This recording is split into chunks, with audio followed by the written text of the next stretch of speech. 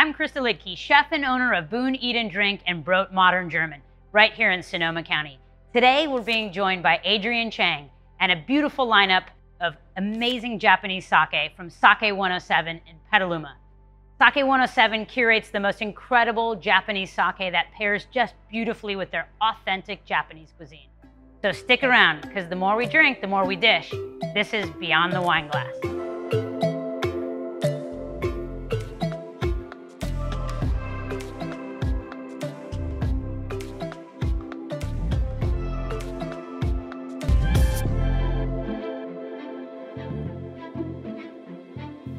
Adrian, welcome. Thank you so much for having me. I'm so excited you're here, and I'm excited to share sake with you because it's not something I know a ton about. Um, but before we get into it, and we're going to get into it soon, you're a cook, you're a food writer, you're a, a culinary instructor, you're kind of my neighbor. Yeah. yeah, yeah. We've not hung out, and uh, so you call the, the redwoods of Occidental home. yeah. What about living in this rural environment like speaks to you or influences the way in which look?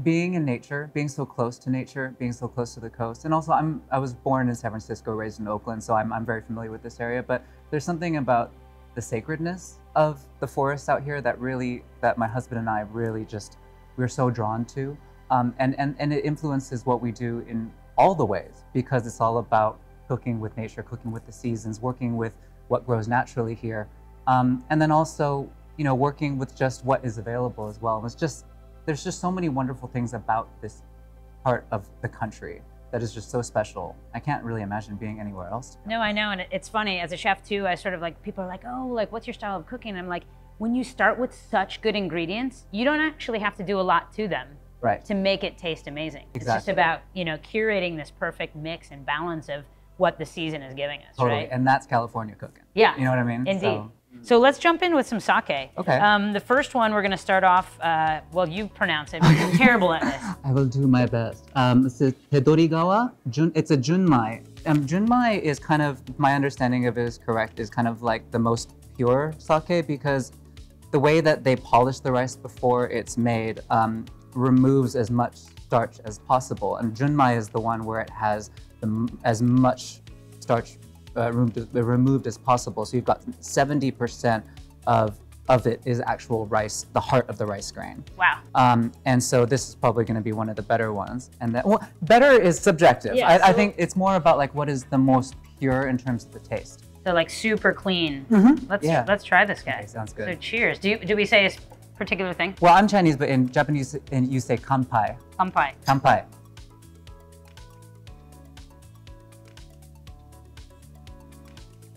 Beautiful. Mm, that's nice.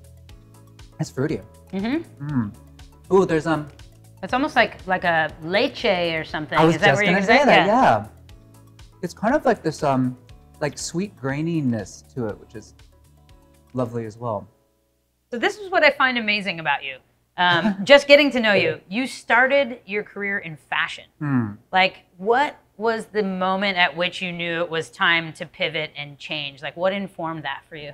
Um, so I'm I was working in fashion in Tokyo where I met my husband, and I was just trying trying to hustle and make a career out of this industry.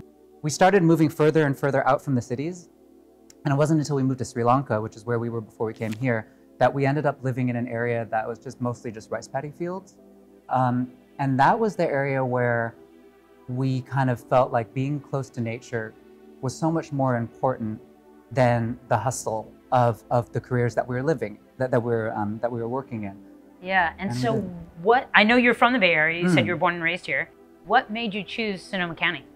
Um, well, I you know being from the Bay Area, I had come up here quite a bit when we were kids, and and we happened upon Occidental accidentally when the agent was like, "Hey, there's this real fixer-upper up in this place called Occidental, which I'd never been to before." And she's like, "I can show it to you if you want," and she took us out there, and we found the place, and it was just like love at first sight. It needed needed and needs a lot of work, but that's kind of like the whole journey. Yeah. Um, but that's kind of how we ended up here.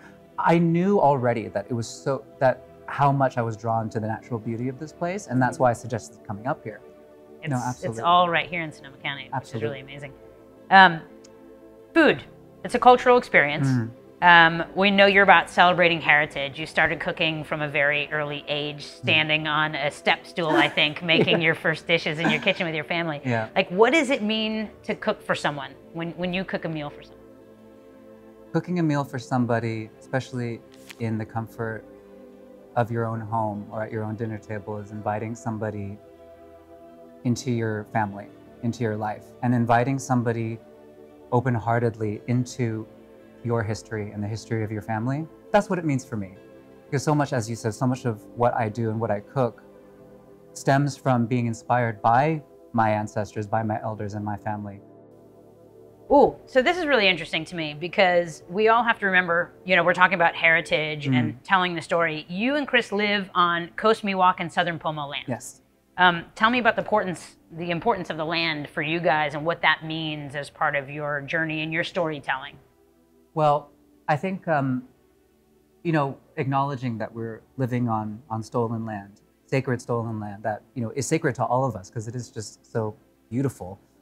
Um, that informs us in a way that teaches us that we need to be mindful and respectful of the place that we live, and also to nurture it in a way that is beneficial to the ecosystem rather than try to make it suit what we want. And so, what we do with Mori House is really trying to work more with the produce that either grows naturally here or thrives natu- naturally well in Sonoma County. So, you know, local produce, but like without the use of like technology and things like that.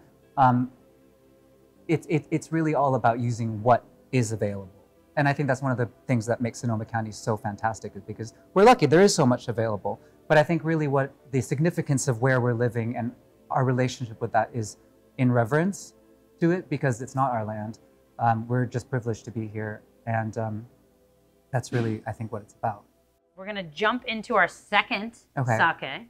So tell us a little bit about. I know. Here we here we go. We're getting in it. So this is called denshu. So similar similar concept that this would be, um, you know, considered one of the more purer forms because of the way that it's polished, almost all the way down to the heart of the, of the rice grain. And Kanpai. Cheers, kampai. It's got a um, hazelnutty kind of Mhm. quality to the aftertaste. I've not got a very sophisticated palate when it comes to this. No, but I get that. Like definitely nutty and almost a little bit more. Like on the nose, I'm getting like a lot more like tropical fruit. It's Mhm. so. Tell us about Mori House.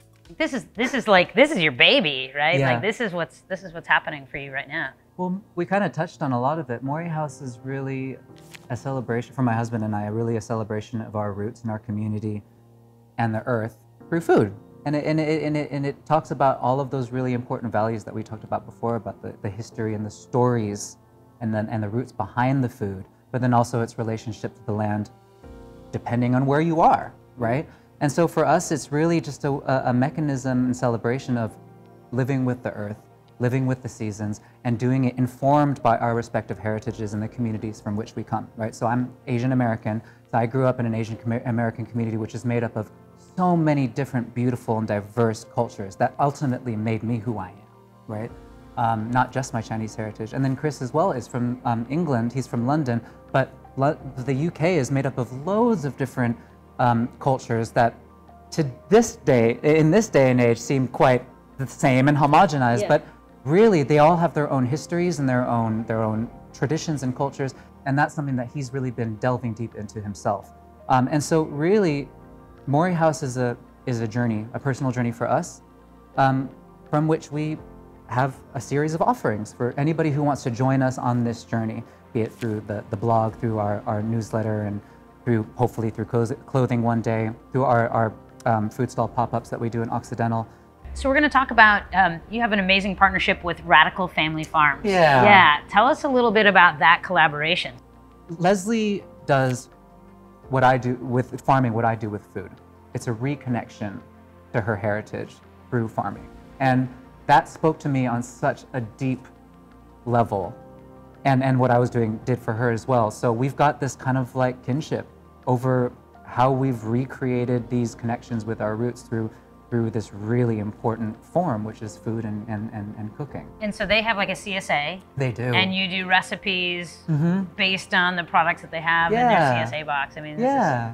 Wow. Um, it's it's really fun because, you know, she she she actually does grow a lot of varieties of different vegetables. So uh, that, that I'm not familiar with. So she'll she'll do things like cucumbers and carrots and potatoes for sure, but they'll all be Asian varieties, which is fantastic. So it it kind of helps kind of bridge a connection with people who are unfamiliar with with Asian vegetables or Asian cooking, you know, and and, and those who, uh, you know, when they're not familiar with it. So it's a it's a wonderful opportunity and. Leslie and Sarah were really the ones that brought us all together. So I think we have another sake. This Oh, one God. I'm a little bit scared I by can feel my face getting warm. it's called the uh, Demon Slayer. yes, Um, onikoroshi. let's let's hear about your demons. No, I'm kidding. Um, No, you don't that's wanna know for the about my fifth, That's for the fifth sake, which is off camera. Um, so tell us about this one. Well, I, I, I am not again not familiar with this, but it is a junmai daiginjo. So Say, daiginjo, say that one more time. junmai daiginjo. Yeah. Mm-hmm. My understanding is the daiginjo is not lesser quality, but has more of the rice starches Okay. in it, so the flavor is going to be different. Um, I'm, I'm not sure in what way because it depends on these guys. But Well, if, it- you. if it's called Demon Slayer, then it's got to be pretty badass. So, here's kanpai. Kampai.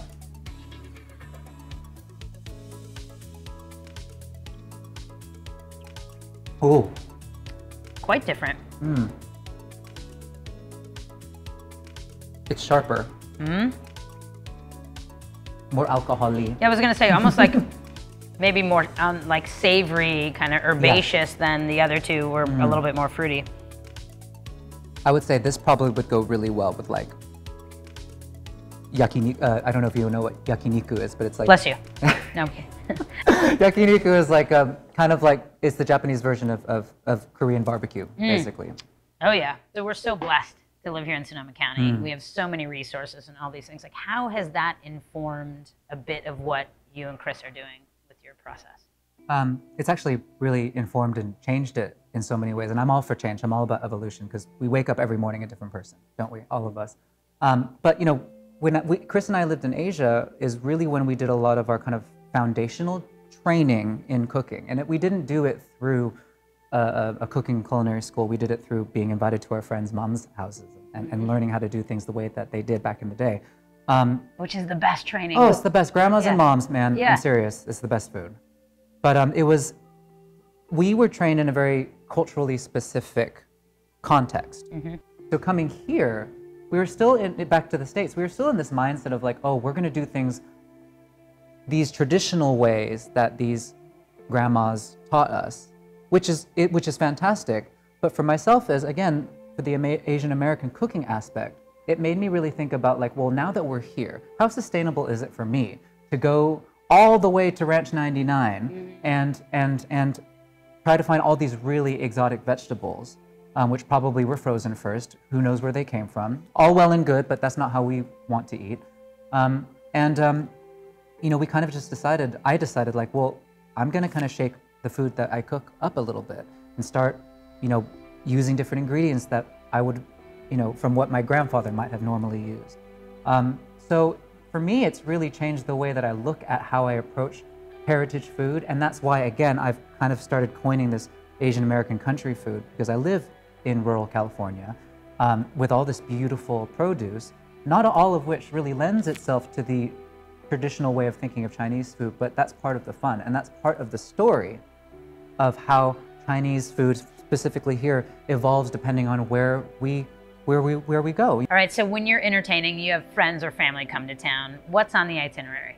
Okay. Um, well, a lot of hiking for sure. Chris and I love Jenner, Head- uh, Jenner Headland. Oh my God, my favorite. Love it, love it, love it, love it. I could do it every day.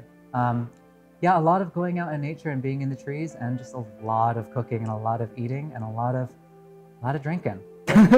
Have you been out to the coast and harvested seaweed? Yes, we have, and that's one of our that's one of our big things that we love, and it's the connection to our, again our heritages as well. Because my mom's side of the family is Teochew, uh, which is southern China on the east, and Chris is Welsh.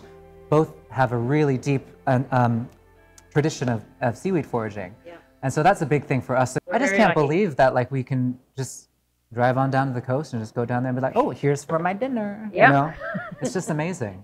What's on the horizon for you? Like, Hmm. wh- what are you working on? Any projects you want to share with us? The ones that I'm most proud of at the moment are our monthly newsletters because I basically write a a food and wellness newsletter with recipes and cultural musings um, that's according to the Chinese micro seasonal calendar. And it's the season where we honor our ancestors by making offerings. And so today is a really a big one today. So Wow, I'm beautiful. very grateful to be here on that day, um, representing my people. But then I love that because, again, it's part of the journey. I'm learning something new every day by reading up, speaking to my mom, and hearing stories from her about how my grandparents used to live. And it's really about me incorporating all this old Chinese wisdom into my very American life, finding new ways of how that that story can really manifest itself. So that's one thing that I really love. And again, it's it's it's So re- that's your new- recipes. yeah, so that's the newsletter. That's the newsletter. I've been doing that for a few months now. Well, since last end of last year. Awesome. I love it. And it's beautiful. I, I, I'm following you and just loving everything you guys are doing. So, yeah, thank you for being my guest today. It's just been such a pleasure, a joy, and an honor to learn about your heritage and your food and all things Adrian Chang. So, thank you so much. Oh, thanks for sharing this space. with me. Absolutely. Kanpai. So I do want to thank uh, Sake 107 for the amazing sake today. It was delicious, but I mean, we are in wine country, so we want to finish strong. And I thought it was only appropriate. We have a heritage Zinfandel from Dry Creek Valley. Uh, so again, Adrian, cheers. You've been a wonderful guest. Um, thank you very much. This is Beyond the Wine Glass.